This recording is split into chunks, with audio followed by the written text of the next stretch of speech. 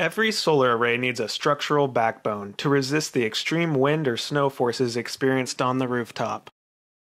IronRidge XR rails feature a curved shape to resist the vertical and lateral forces that are generated by sloped roofs.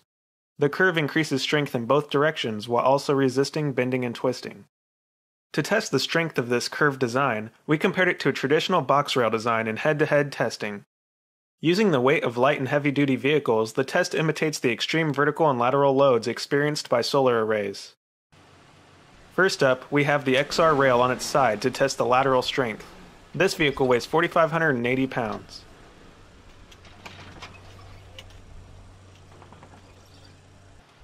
When the same test was performed on box rails, a dramatically different result was observed. Notice the severe give of the rails and the permanent bend left behind. If this were a solar array, it would require repair and replacement. Now the rails are placed upright to test their vertical loading capability. Using the same vehicle as the lateral test, both rails successfully passed.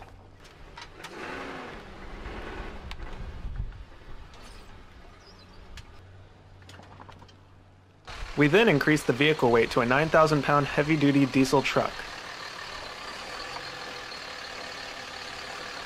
Still, the XR rails held up.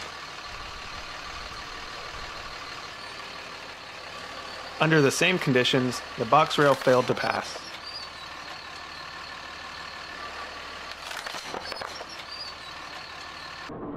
Notice how the box rail yields and twists, causing a rapid and catastrophic failure.